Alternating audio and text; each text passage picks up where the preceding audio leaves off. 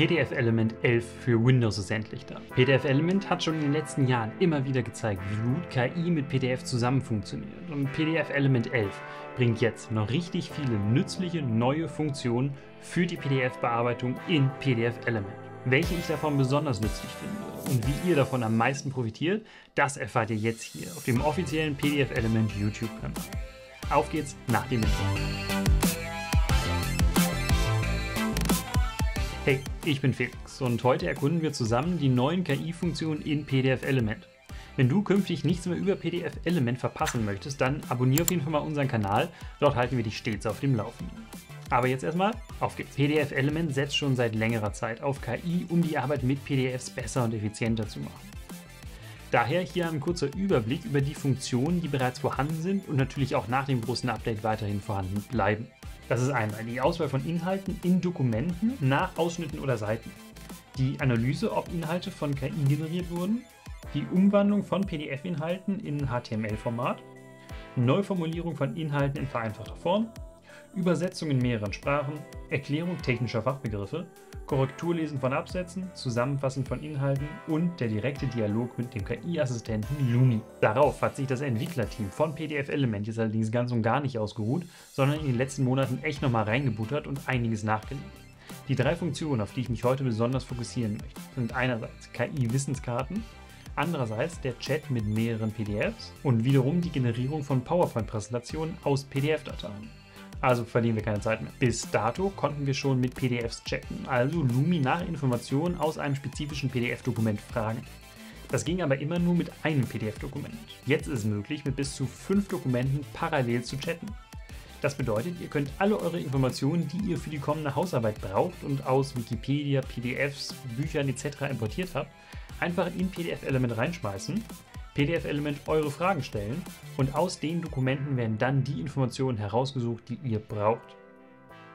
Der große Vorteil gegenüber klassischen und anderen KI-Modellen ist, dass ihr die KI somit auf eure eigenen spezifischen Inhalte trainieren könnt. Ihr fragt also nicht eine gigantische KI, die irgendwas zusammenfuscht und sich daraus einen Inhalt strukturiert, sondern ihr fragt wirklich spezifisch nach dem Inhalt aus euren PDFs. Auf diese Weise bekommt ihr fundierte und garantierte richtige Informationen, weil sie eben aus euren eigenen Quellen stammen. Außerdem spart ihr euch so den Schritt, jedes Dokument einzeln zusammenfassen zu müssen, einzelne Notizen erstellen zu müssen und diese dann mühsam zusammenfassen zu müssen. So bekommt ihr alles auf einmal direkt automatisiert ausgegeben. Nicht nur für Studenten, sondern für wirklich eine Vielzahl von Nutzern in meinen Augen sehr, sehr interessant und das sollte man auf jeden Fall mal ausprobieren. Dazu öffnet ihr eines der Dokumente, aus denen ihr Informationen extrahieren möchtet, mit PDF Element. Nutzt dann das KI Sidebar Feature und wählt den Modus Chat mit PDF.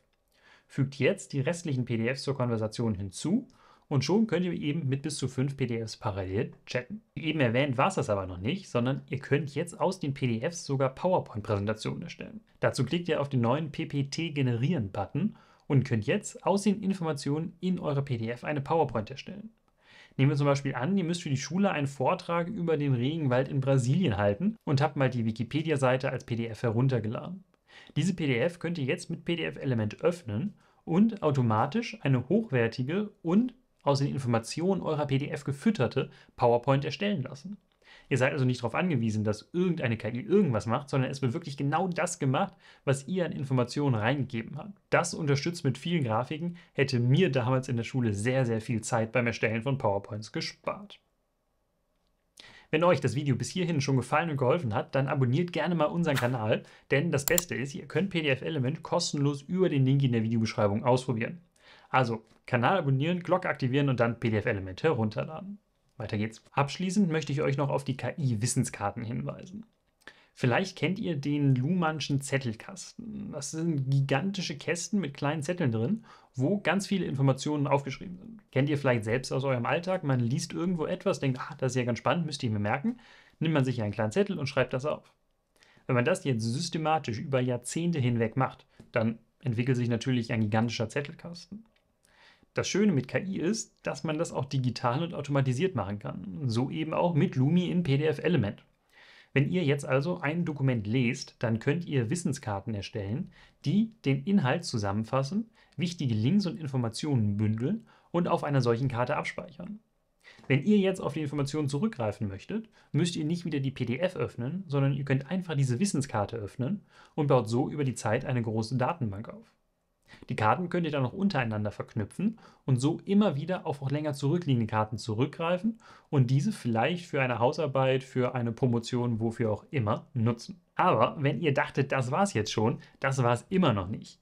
Denn ein wirklich geniales Feature in PDF Element ist, dass ihr euch eure eigenen Funktionen zusammenbauen könnt. Ihr könnt die Eingabeaufforderung öffnen und dann in PDF Element aus den bestehenden Funktionen euch einen eigenen Baukasten oder einen Steckkasten zusammenbauen, mit dem ihr dann eure spezifischen Anwendungsfälle bedienen könnt. Nehmen wir zum Beispiel an, mein Prozess zum Erstellen von Notizen aus PDFs ist eben anders, als PDF Element ihn von Haus aus vorgibt dann kann ich mir jetzt mit der Eingabeaufforderung einen eigenen Workflow erstellen und den immer wieder automatisiert abrufen. Super nützlich und damit sind die Anwendungsfälle und vor allem die Anwendbarkeit von PDF-Element nahezu unbegrenzt. Denn man kann jetzt wirklich jeden Workflow, den man sich auch nur irgendwie ausdenken kann, mit PDF-Element abbilden. Und der Vollständigkeit halber sei natürlich noch erwähnt, dass die bisher bestehenden Funktionen natürlich auch nach dem Update weiterhin erhalten bleiben und auch weiterhin verbessert werden. Bedeutet insbesondere die Grammatik und Textverarbeitung ist nach wie vor besser geworden und liefert jetzt immer menschlichere, immer bessere und richtigere Ergebnisse raus. Also, wie eben erwähnt, ladet euch auf jeden Fall mal PDF-Element aus der Videobeschreibung herunter, um diese Features auszuprobieren, denn erst wenn man sie wirklich ausprobiert, merkt man, wofür man sie eigentlich im Alltag nutzen kann. Habt ihr noch Fragen, Anregungen oder sonstige Wünsche zu PDF-Element, lasst sie uns mal unten in der Videobeschreibung wissen, wir werden schnellstmöglich darauf eingehen. Ich danke euch fürs Zuschauen. Abonniert gerne mal unseren Kanal, aktiviert die kleine Glocke daneben und liked dieses Video. Wir sehen uns beim nächsten Video wieder. Bis dahin, ciao.